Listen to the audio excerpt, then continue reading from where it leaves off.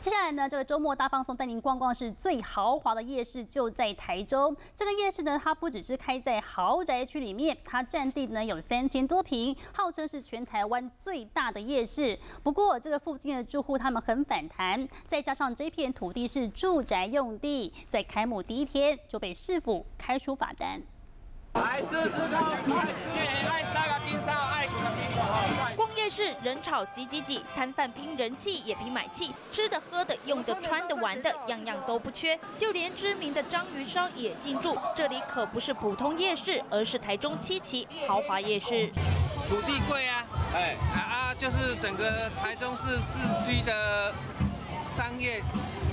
最贵的地方啊！一旁高楼林立，随便一户就要价上亿，但相隔不到一百公尺就是一个 local 夜市，占地三千五百平，地价至少四十多亿，可以容纳近千个摊位，还打出全台唯一夜市专用厕所，吸引游客捧场。但没想到，不止豪宅住户担心夜市影响生活品质，房价下跌，就连开幕第一天，市府就上门开罚单。这个地方的土地使用问题是注意之息，他没有依照规定来申请设置摊贩。集中场，所以按土地使用分区的话，我们依照都计划委养分区做开发。原来这一大片土地是住宅用地，合法执照都还没下文，业者就抢着开门营业，不但最高可罚三十万，甚至这个号称最贵最豪华夜市，恐怕还没成为全台最大之前，就已经被拆光光。记者林品欣台中报道。